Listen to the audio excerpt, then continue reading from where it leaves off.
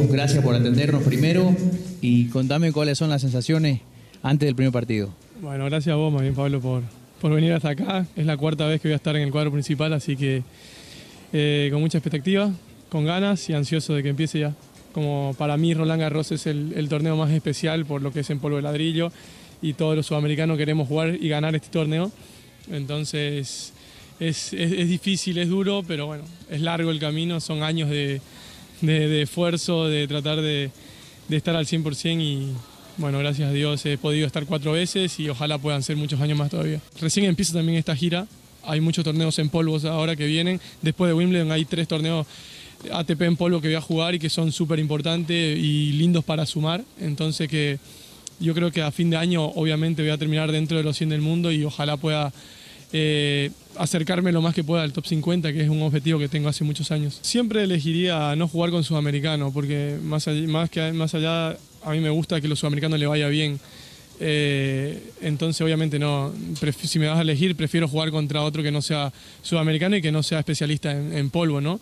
Pero es lo que nos tocó, Bueno, he tenido la chance de verte eh, entrenar en, en- estas canchas que tenemos aquí de fondo y, me decías hoy después del entrenamiento, lo decías en las redes sociales de Tigo Sports, que había sido el día de que mejor te había sentido, ¿no?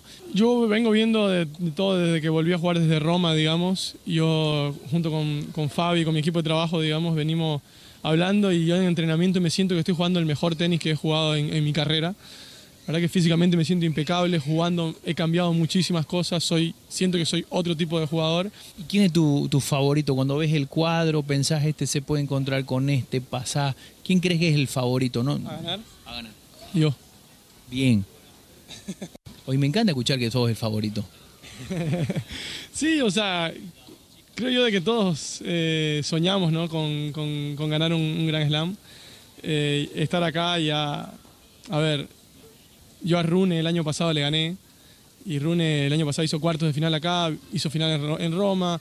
Eh, yo jugué contra Al- Alcaraz, que Alcaraz ya ganó un Grand Slam, estaba uno o dos del mundo. Con Medvedev perdí en, en cuatro sets, en, en- en- en cemento, él viene a ganar Roma, en polvo es mi superficie.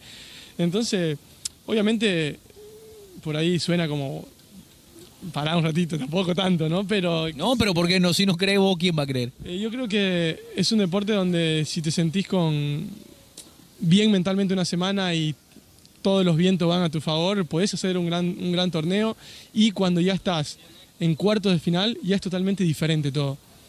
O sea, ya ahí es gana el que mejor esté, no importa qué ranking esté, no importa si juega mejor, si no importa nada. Porque Se ya- acortan las distancias ahí. porque ya agarrás un, un- un- un ritmo de partido, una confianza, ya te sentís superior, ya sentís que vas a ganar. Y le pasa a todos. alguna cosita, prometámosle al público de Tigo Sports y a todos los bolivianos que siguen tu carrera y el tenis, ¿qué vamos a hacer si, si ganás la primera ronda? Alguna cosita, no sé, ir a la Torre Eiffel con la bandera boliviana, no sé. ¿Qué le prometemos a los bolivianos que hacemos para pagar eh, el apoyo de todo el- el- ante el triunfo? Mm, ¿Qué podemos hacer? A ver. Ayúdame. Vamos en bici a la Torre Eiffel, Listo. ¿Desde dónde? desde acá. Listo, con la bandera Bolivia. Perfecto. Me encantó. Bueno, mira, Terminamos con una nota ya. Bienísimo, desde el estadio Roland Garros nos vamos en bicicleta a la Torre Eiffel y hacemos una notita ahí, llevamos la bandera boliviana y es más, eh, viste la pelota, lo hacemos y la pelotita ahí, la firma y, le, y la, la sorteamos. Listo. Perfecto. Yo sorteo un- el- la polera con la que jugué el partido. ¡Oh! Quedó espectacular. Bueno, hecha la promesa entonces, estén atentos, gana Godelien ronda primera del Roland Garros a Nicolás Harry y hay premio, hay sorteo y hay nota en la Torre Eiffel. Perfecto. Está clarísimo. Hecho. Listo. Bueno, no se pierdan, vamos a estar muy pero muy cerquita del tigre de modo del raquet del tenista número uno de.